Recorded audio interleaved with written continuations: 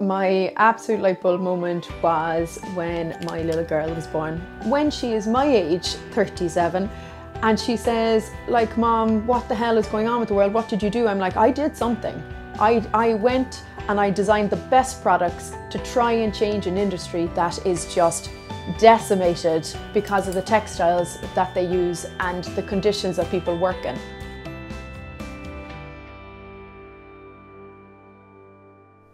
My name is Angela O'Donnell and I am the sole designer and founder of YAWUW, which is an acronym for You Are What You Wear.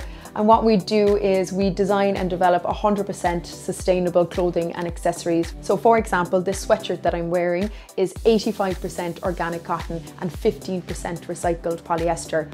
And the whole of our products that we have for sale at the moment are all made from those two textiles or from 100% recycled wool. It is so much easier designing products and clothing made from traditional textiles because those textiles are just readily available. You can buy them from multiple suppliers, but whereas sourcing and retaining textiles that are sustainable, either you know from 100% recycled PET or recycled elastane or anything like that, it's really difficult because they're not common.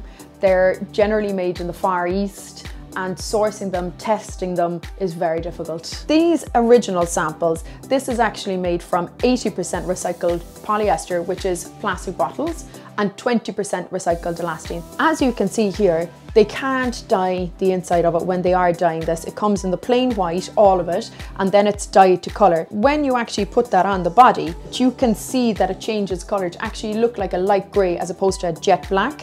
When you put these on and you do your squats, they you can see your bum basically. These leggings, which are coming out in July, are 75% recycled PET, which is recycled polyester, and 25% recycled elastane. They are totally see-through proof. My life would be 10 times easier um, to just be like, uh, yeah, I'll just send that off there. Don't look into the background of anything. Uh, don't push for the answers. Don't hammer people on the phone to send you the certs. You know, don't ask them to, can you take videos of your factories? Can you do all these things? Our 100% recycled wool throws, these are them. When something like your old woolen jumper uh, is going to a landfill. We intercept clothing like that.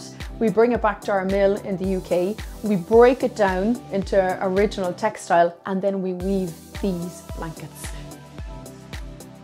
I have always been fashion obsessed um, ever since I was really young.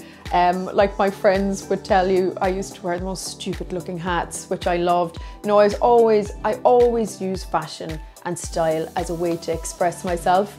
I always loved it. Um, but when you wake up to how the industry really is and you know how fast fashion companies work and operate, you can't ignore that anymore. I think the true change will only come when governments say if you're bringing product in here or anything like that, you need to say to us 50% of your textiles are made from sustainable materials. This is how you're offsetting your carbon and your packaging, like three simple things. Your packaging is biodegradable, three small things. But the want and the desire and need for it needs to be there.